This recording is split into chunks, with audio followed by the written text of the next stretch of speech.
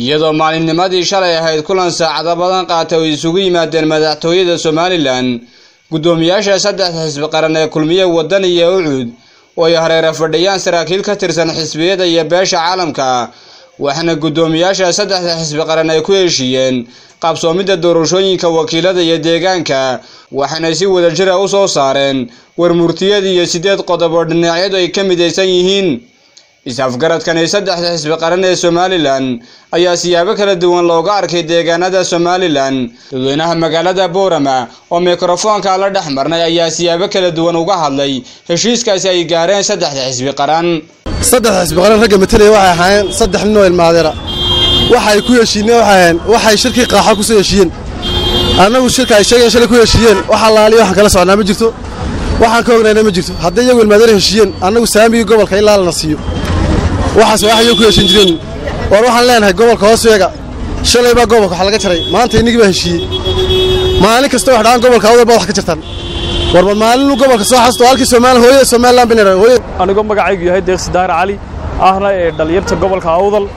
Haddii ay heshiiyeen saddexda xisbi haddii ay heshiiyeen annagu waxaan mabda' baan marka horeba aan ka midaysnayn in ilaa iyo dastuurka dib loo furo xildhibaanada la kordhiyo inaanan doorasho la gelayn. Annagu haddaan shacabkii nahay dee heshiiskaa wax nooga annaga dee nooga faa'iidaa ma jirto. Waxaananu ku taagannahay mabda' ayagii ahaa ilaa iyo dee inaanan doorashadaa gelayn.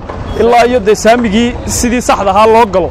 Inaanan doorashadaasi aananu gelayn baan annagu aan ka midaysannahay xisbiyada la leeyahay maxaa ku dhahdaa saami qaybsiga.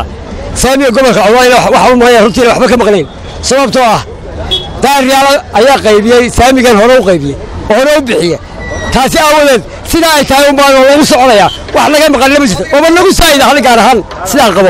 Isagoo uu yahay axmed barkhad xerse kana mid ah dhallinyarta magaalada boorama waxaan halkan ku caddaynaynaa xisbiyada heshiiyey ee saddexdaa oo saddexduba beelaysan.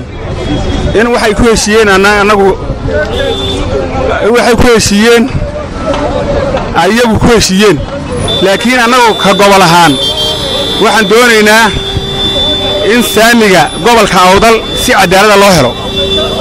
In saamiga gobolka awdal si cadaalada loo helo ilaa taa la helayana wax doorashaa oo aan ka qayb gelaynaa dhallinyar ahaan ma jirto. Awdal ilaa helna anagu doorasho ma gelayno ilaa saddex xisbi heshiinayna maan gelayna anagu.